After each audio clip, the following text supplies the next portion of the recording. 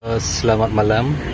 Malam ini saya akan membuat tutorial cara mengganti kiprok Honda Vario karbu yang lama tidak bisa hidup tadi dan tiba-tiba aja mati. Ini saya beli kiproknya seharga 115.000 yang asli.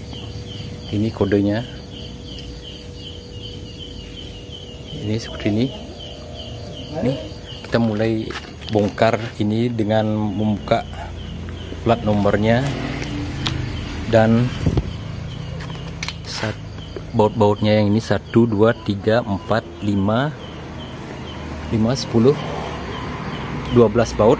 Yang ini lagi dua di dalam sini. Kita mulai aja membongkarnya.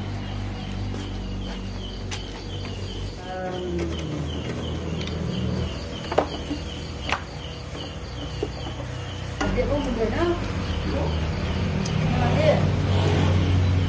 Lo ada ada berdua.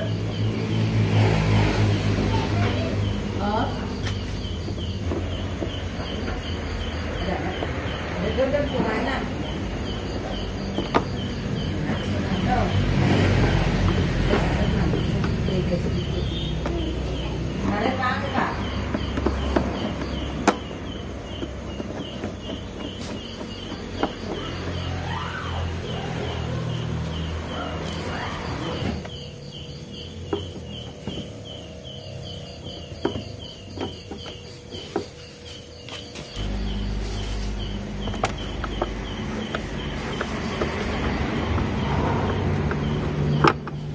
setelah semua baut-bautnya dibongkar karena posisinya dia ini kiproknya ada sebelah sini ini kita harus bongkar dulu cover lampunya.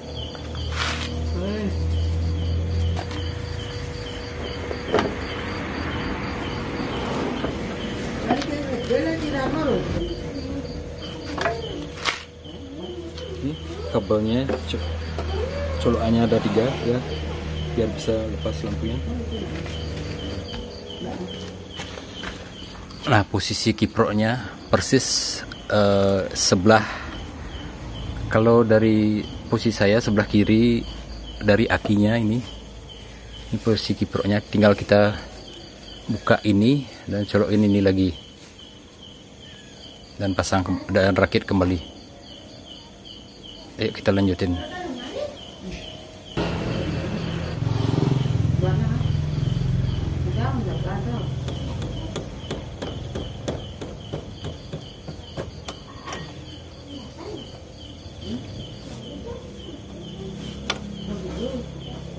kurang lebih 10 tahun ini belum pernah di- diganti. Tinggal kita pencet yang ini.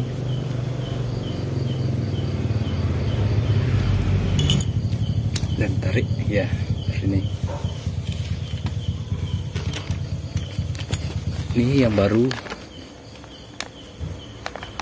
Truknya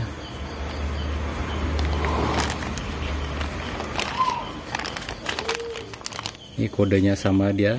SH714DA ini sama. Ini juga originalnya SHM ini ada logo hologramnya. Untuk mengetahui keasliannya. Untuk pemasangannya kita tinggal colok ini aja nah, sampai bunyi dia klik untuk, untuk pengunciannya ini. Sampai bunyi klik. Dan tinggal kita pasang rakit kembali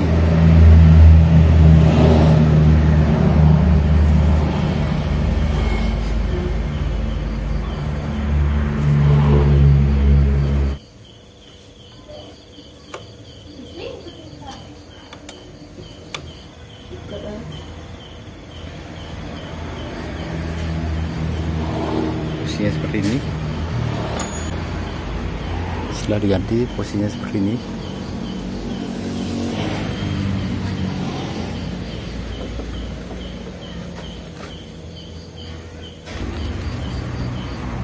Pasang semua kembali saklar-saklar lampunya sampai berbunyi klik.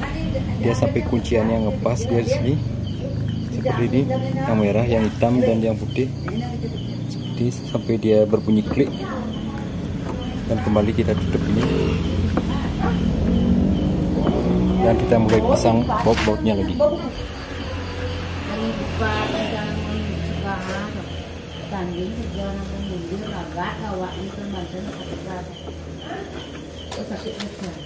Kita akan coba. Kita gunakan apa kaki dulu? Biar dia mau menyebar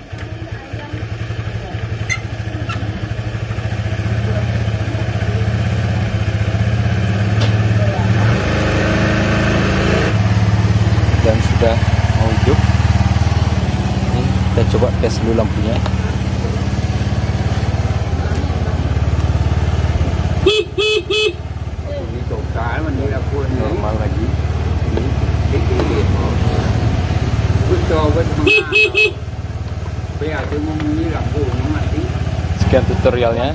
Terima kasih sudah menonton